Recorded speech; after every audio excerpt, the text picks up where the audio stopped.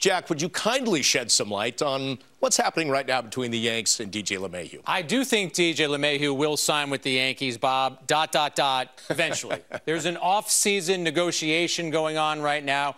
Reached out to one of the parties involved in that negotiation today, and yes, they are still talking. Those talks are ongoing. Those talks are positive. Here's what we know. We reported this on our first Hot Stove show about a month ago. LeMahieu's side was asking for about five years, 100 million. The Yankees have since countered with about four years in the 20 million per year range. So to me, that's not the widest gulf to try and figure out. I think there's an easy resolution. I think there's a way to go four years with an option. I think that these two sides eventually marrying or remarrying there's not an insurmountable obstacle to this happening. Yeah, I think a lot of people heard they're $25 million apart, and it sounds like it's an amazing number. But the reality, like Jack just mentioned, it's four years or the possibility of five. But I don't think this should surprise any of us. We talked about this at the beginning. I'm sure the Yankees told DJ LeMahieu and his representation, go out there and see what the market is and make sure you come back to us. And just think about it if you're LeMahieu. If you want to become a Yankee again